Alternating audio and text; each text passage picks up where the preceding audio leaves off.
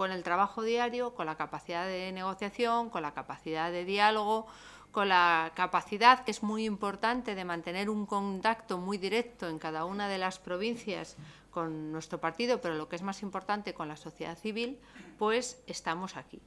Nunca nadie había gobernado con 137 diputados, nunca nadie había tenido que gobernar con siete grupos o acordar con siete grupos parlamentarios para sacar adelante la iniciativa y la tarea más importante de cualquier gobierno, que sacar adelante sus presupuestos.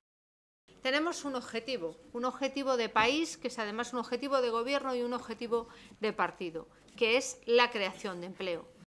Aquí uno tiene que ser coherente en su vida política. No se puede apoyar una cosa un año y votar que no al año siguiente, cuando desde el punto de vista económico y desde el punto de vista de las cifras es mejor para sus postulados. Pero bueno, el ejercicio de coherencia lo valorarán los ciudadanos en cada momento.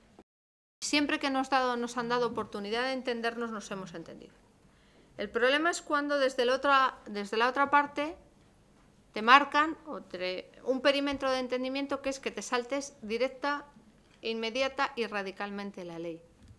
Y ningún gobierno que se precie puede negociar al margen de la Constitución, como tampoco puede hacerlo esta, esta Cámara. Los independentistas cada vez están más solos, cada vez tienen más miedo a asumir sus propias responsabilidades y lo que hay que pedirles es que eh, no siendo capaces de asumir la responsabilidad en un proceso ilegal, por lo menos que dejen de presionar para que otros lo asuman por ellos.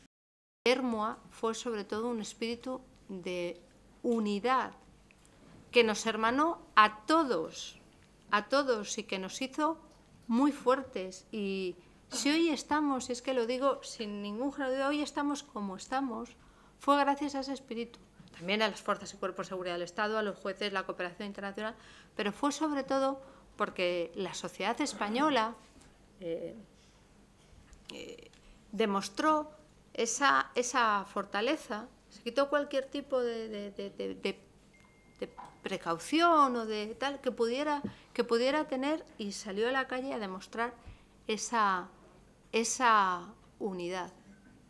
Aquí no caben equidistancias. Es que con el terrorismo, no caben en muchas cosas, pero con el terrorismo, con lo que menos. Porque sigue siendo un problema y un problema de una grandísima magnitud. Y los españoles podemos ofrecer al mundo esa experiencia que tenemos a nivel operativo, pero también a nivel social, de un pueblo que se une.